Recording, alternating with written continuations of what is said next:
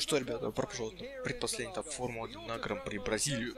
Итак, по поводу квалификации, она у нас закончилась так успев начавшись, а точнее ее третий сегмент, в котором, после того, как я уже закончил прогревочный круг, я въехал в стенку на старт-финишной прямой.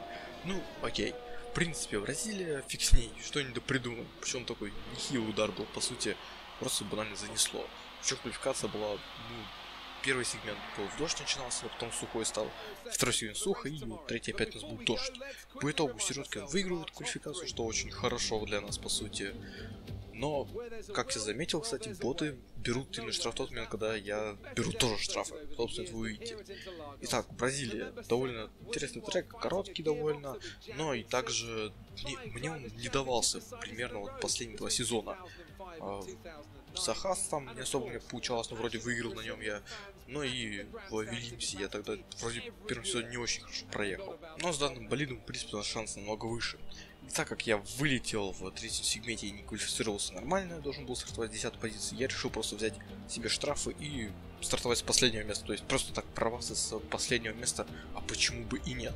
Потому что у нас уже ничего не разыгрывается, то есть чемпионский титул уже был выигран в России, в США был закончен Кубок конструкторов, и по итогу мне тут ничего не стоит стартовать на последнем.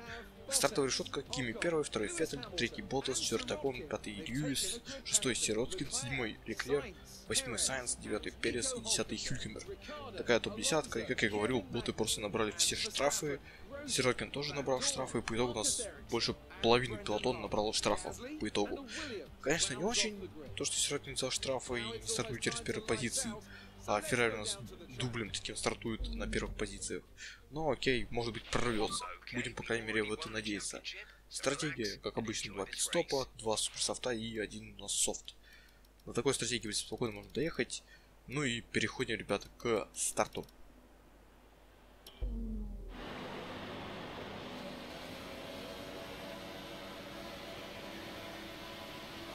И старт Булдана я неплохо срываюсь с места, сразу же прохожу по сути Гасли.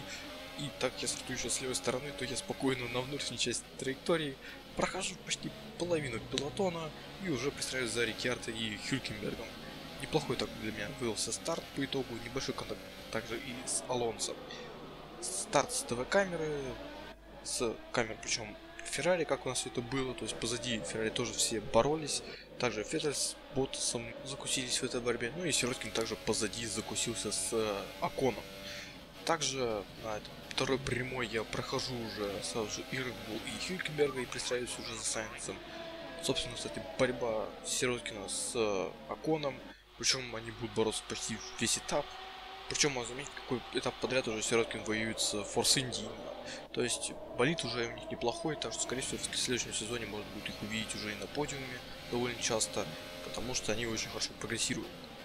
Через какое-то время я и Сайенс догоняю уже во втором секторе, в месте, где, по сути, обгонять довольно сложно, из-за того, что здесь идут довольно узкие и медленные повороты. Но мне это получается по внешней траектории его опередил. Потом Переса, который еще причем затормозил так, когда я его опередил, и из-за этого он заметил позади идущую компанию. И уже через какое-то время догнал Леклера. Догнал, спокойно опередил, поравнявшись, правда, но без каких-либо проблем.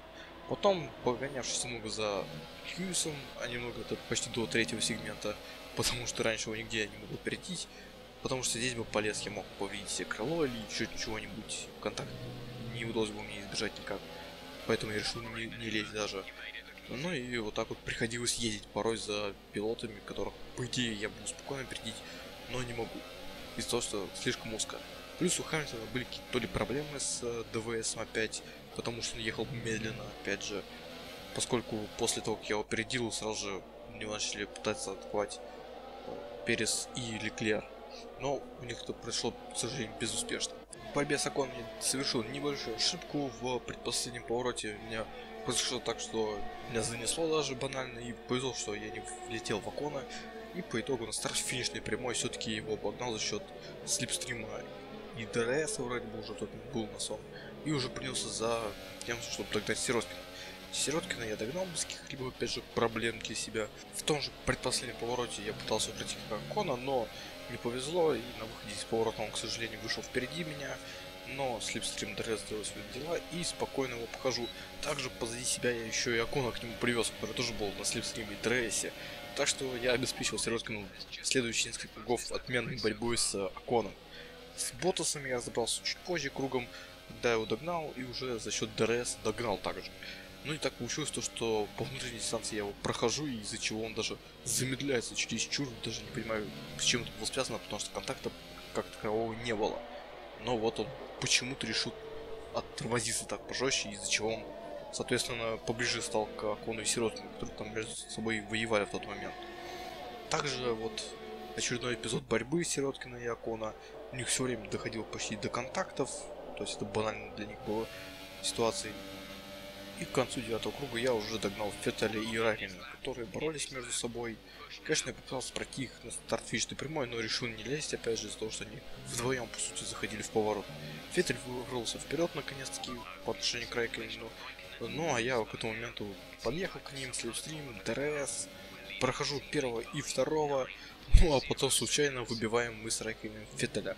Собственно, как это было, а было это так, то что после того, как я его прошел, он подъехал под мое заднее колесо, потом он отлетел в Райкконена, а от Райкконена отлетел в меня снова, и по итогу его просто развернуло.